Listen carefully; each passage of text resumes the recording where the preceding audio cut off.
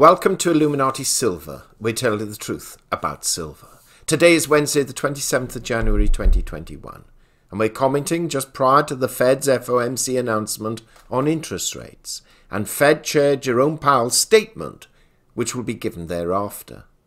We're looking at what gold and silver and the US dollar are anticipating prior to the announcement. So let's take a look.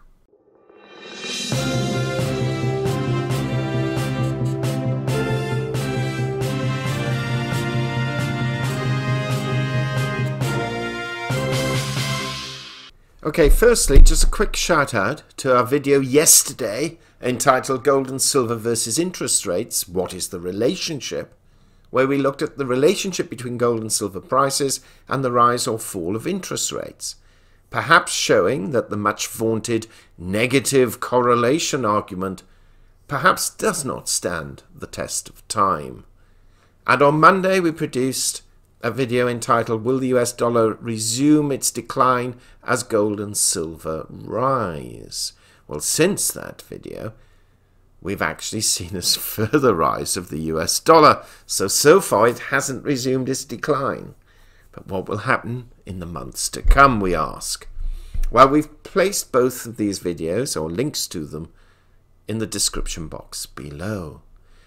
Now, later today, in fact, just a few hours' time, as it's 14.30 here in the UK, that's GMT time, we shall hear from the Fed's FOMC its decision on interest rates and perhaps, arguably more importantly, forward guidance of where the Fed believes their QE will extend to and for how long.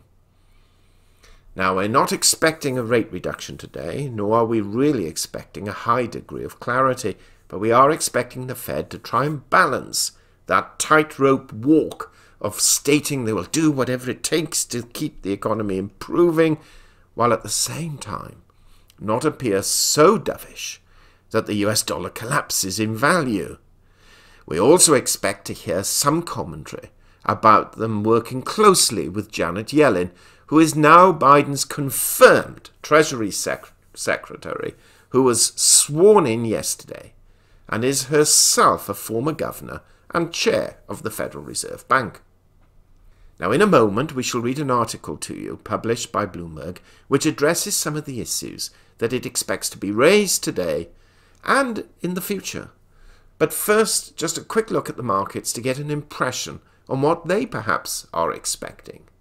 Well, stocks in the UK and Europe are generally down around 2%, and the Dow Jones has opened, and that is itself down on opening 0.15%. The dollar index is up quite strongly at the moment by 0.45 at 90.61. And not surprisingly, as a result of that, gold is down $12 at $1,843, and silver is down 39 cents at $25.10. Now, the direction of the dollar and gold and silver prices will be, at least for a day or so, perhaps to the end of the week, quite dependent upon what Jerome Powell has to say today. Will silver break below that $25 level and move into $24 territory? Or will it recover and move back up to that sort of area that it seems more comfortable with between $25.50 and $26? Well, much depends upon today. And of course, we shall produce a further video of Jerome Powell's statement which will either be published this evening or more likely tomorrow morning.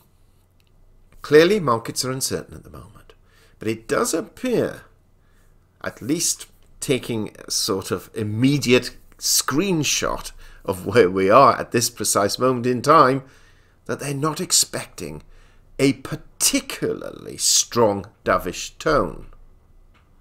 Will they be right or will they be wrong? Well, we'll know in a few hours. So let's now look at the Bloomberg article, and we will end the video with that article. And therefore, please do leave any comments you may have below.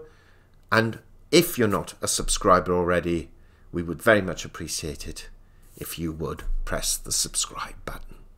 So let's look at what Bloomberg had to say yesterday about what's likely to happen today. Bloomberg article dated 26th of January 2021. Headline Powell, with year to run at Fed, aims to avoid past QE mistake.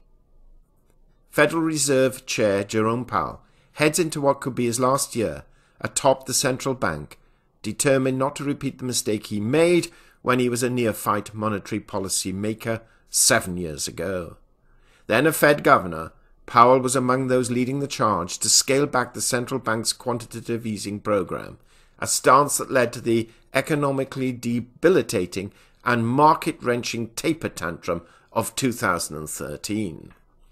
Powell, whose four year term as chair ends in February 2022, is likely to sound more cautious this week about curbing the Fed's massive asset purchases, even though the economic outlook has brightened further thanks to an expected big budgetary boost from President Joe Biden. He'll emphasize that the risk of moving too early far outweighs the risk of moving too late, said Lou Crandall, chief economist at Wrightson's ICAP LLC. Powell will hold a press conference on Wednesday after a two day meeting of the Federal Open Market Committee that is expected to decide to keep monetary policy ultra easy to fight the economic fallout from the pandemic. As 2013 showed, getting the timing of a taper right can be critical. After then Fed Chairman Ben Bernanke suggested in May of that year that the central bank might soon begin to rein in QE, long term interest rates shot higher, upending emerging markets and restraining the US economy. Bernanke's comments came just weeks after an FOMC meeting in which Powell voiced hopes that the Fed might start scaling back asset purchases in June, according to a transcript of that gathering. Could the Fed taper without a tantrum? JP Morgan Chase & Co. Managing Director John Normand and fellow strategist asked in a January 22nd note to clients. Their answer? It's unlikely given current valuations and positioning in financial markets. A Bloomberg survey of economists last week revealed a wide dispersion of views about when the Fed will begin to rein in its buying. While a plurality of 35% expect the taper to start in the first three months of next year, just over a quarter believe it will come in the final three months of 2021. Roughly another 25% do not see it happening until the second quarter of 2022 or beyond when to taper purchases. Economists divided. The Fed is buying a lot more bonds today than it was seven years ago. It's currently purchasing $120 billion per month, $80 billion of Treasury securities, and 40 billion of mortgage backed debt. Compared with 85 billion monthly in 2013 including $45 billion worth of treasuries. But just as was the case back then, the Fed has set a rather amorphous guideline for QE policy. In 2013, the FOMC said it would continue buying bonds until the outlook for the labour market has improved substantially in a context of price stability. Now it says it will purchase at least $120 billion of assets monthly until substantial further progress has been made toward the committee's maximum employment and price stability goals. As Powell noted seven years ago, such vague guidance increases the risk that the markets misunderstand the Fed's intentions. The lack of clarity around our stopping rule for asset purchases is itself a financial stability risk, he said at the March 2013 FOMC meeting, just months before Bernanke's comments shook the markets according to the transcript of the discussion.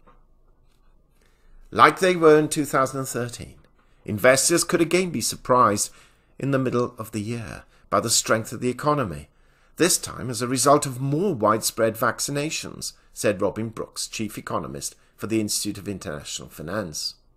A bond market sell off could be aggravated by a ramp up in Treasury debt sales as the government finances fiscal stimulus.